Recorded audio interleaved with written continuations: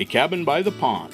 If you're planning a trip to the majestic Kenai Peninsula in beautiful Alaska, enjoy a much more private and personal lodging experience in one of the many cabins at A Cabin by the Pond near Soldotna on the Kenai River.